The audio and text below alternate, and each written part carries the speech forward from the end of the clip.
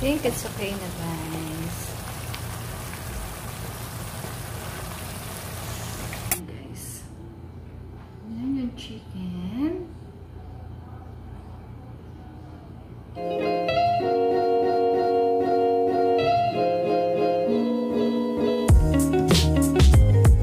Hello guys! Welcome back again to my channel.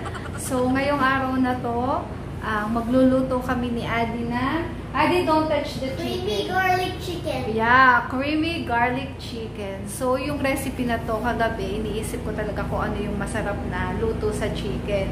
And then, nanonood ako sa YouTube. Nakita ko si Danny Barreto na ah, ito yung ginawa niya. Ito, ito yung binalag niya. So, tutularin natin. So, sa recipe to, sa recipe to, wala akong parsley. At saka, hindi ako mahilig sa parsley. So, hindi ko talaga siya lalagyan ng parsley. Yun lang yung wala do sa recipe na ginawa ni Danny Barreto. And then, gumamit siya ng olive oil. Tapos, wala na rin akong olive oil. So, gumamit na lang tayo ng ordinary mantika. So, ito guys, yung mga ingredients na kakailanganin natin. First, you need oil, pepperoni. so, ito yung mga ingredients guys. So this is all the ingredients. So first, you need oil, Oil. Oil, then salt. Salt. Then, ano to? paminta, Paminta, very good. Garlic. powder. garlic powder, and then chicken breast, and then Chicken breast. kailangan natin ng bawang. And so, ganito mushrooms. kadaming bawang yung inila- ilalagay ko, isasangkap And ko. mushrooms. And then mushrooms. To, mushroom in can yan. And then chicken cube. Chicken Kasi cube. wala akong chicken broth, so ito na lang, pwede na to. And then Nestle cream. So, Nestle. yan guys, lutuin na natin. Yes. So guys, bago nga pala ako magsimula sa pagluluto, 'di ba nung isang parang saan yung vlog kong yun? Yung ang dami kong ginawa. Basta ilalagay ko dito yung link sa description. 'Di ba sabi ko sa inyo, walang aircon dito sa kusina. So, good news guys. Um, um, good news guys kasi nga kahapon maliban kahapon nung isang araw, um, nakakita kami sa online ng ah, ganitong aircon, kalimitan, second hand na lang yung bibili mo. Kasi nga, okay pa din naman. Tapos, isa pa, hindi mo naman siya may uwi ng Pinas. So, guys, nakakita kami ng aircon at sobrang mura lang niya. So, nakuha namin siya ng worth 300, 300 plus. So, si Daddy Russell yung kumuha. And then, kahapon, dinala na dito. Tapos, naipakabit na rin namin. So, ayan guys, hindi na mabanas ang aming kitchen. Di ba? Hindi naman mukhang pangit. So, ang mahalaga niyan, gumagana, lumalamig. So, murang halaga, may aircon na.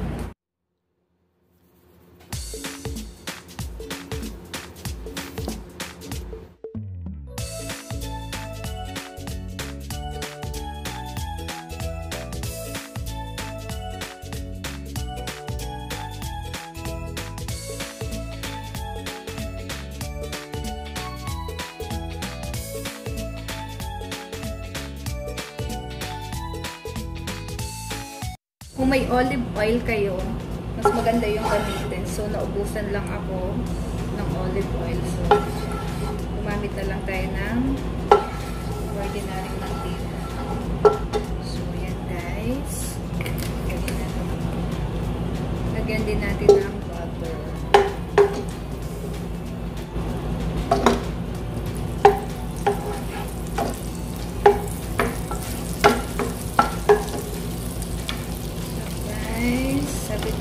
ilagay na yung chicken.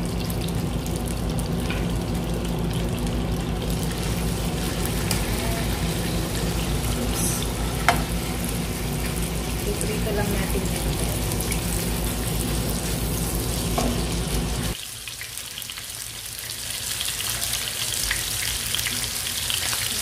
Ayan guys, napuno na yung chicken, brown na siya. aside muna natin ito guys.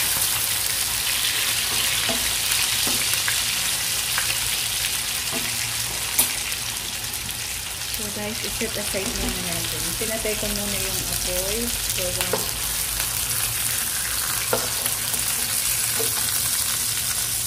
Lagay ulit tayo ng gas. Then, add ulit tayo ng water.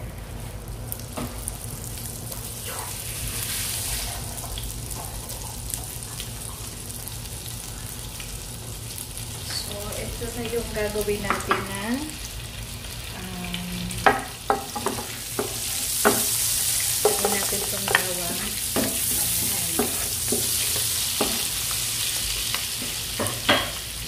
So, ayun, ito na yung pinakasos ng ating creamy garlic chicken.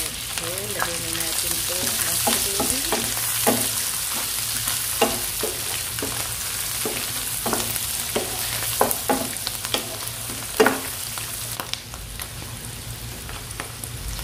Lagay na rin natin itong chicken cube.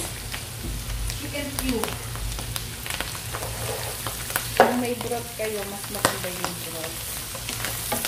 Eh, wala akong gamot, so kaya na din itong gamitin. So, kayo kasi sa inyo kung gusto nyo, lagyan ng parsley. So, first time ko itong ginawa. So, mukha naman siyang masarap. Kasi nga, may Nestle cream. Guys. So, bakit ko nilagay na dito yung chicken cube?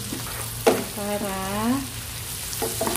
yung lasa manuot. So, ayan guys. And then, ilagay na natin tong chicken. Ayan.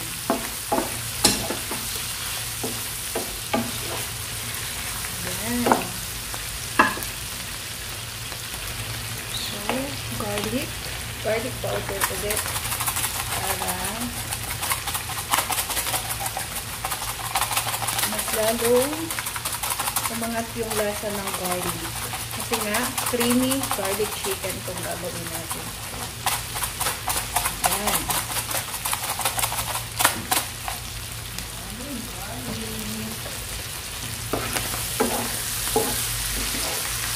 Ayan na.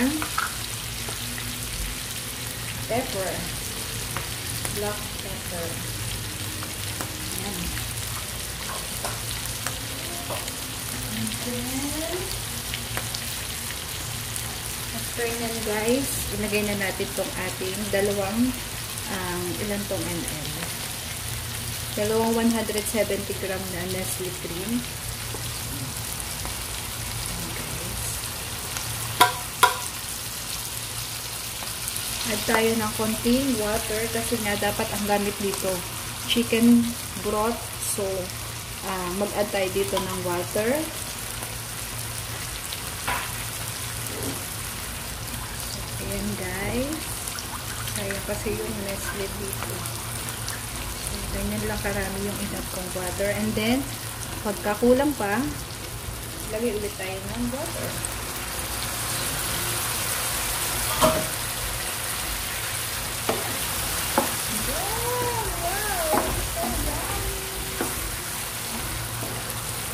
Ito guys. Para yung butter at saka yung Nestle cream natin na nakahalo. Wow! Ang yummy talaga to guys. Ayan, cut natin yung chicken.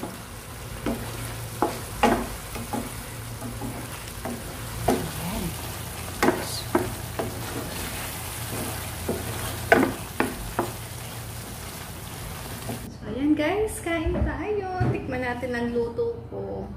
Pero, natikman ko na yung sauce and then so yummy. Ayan guys. Ayan yung chicken. Mm. Ito. Masarap to sa rice.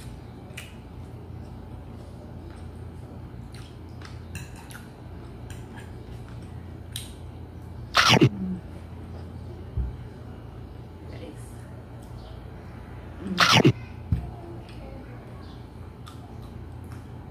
The best tong recipe na to. Ayaw na siyang lutuin tapos ulit-ulit ako. Mas masarap. Kasi nga, sobrang sarap.